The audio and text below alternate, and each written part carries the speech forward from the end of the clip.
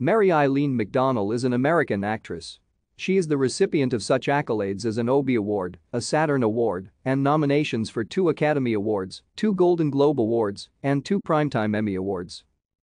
McDonnell is best known for her roles in the films Dances with Wolves, Grand Canyon, Passion Fish, Independence Day, Donnie Darko, and Margin Call, as well as the television series Battlestar Galactica, The Closer, and Major Crimes.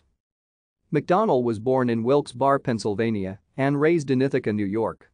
She is the daughter of Eileen and John Jack McDonnell, a computer consultant. Her siblings are Jane, Sally, Judith, Jackie, and John.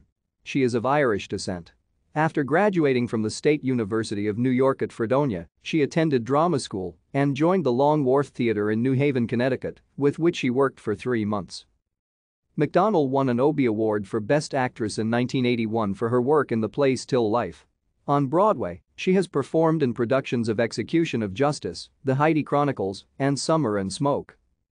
After more than 21 years of theater and television work, McDonnell made her film breakthrough in 1990 as Stands with a Fist, the daughter of American settlers raised by Sioux Indians in Kevin Costner's Dances with Wolves. Thank you for watching. Like and subscribe if you would like to view more of our videos.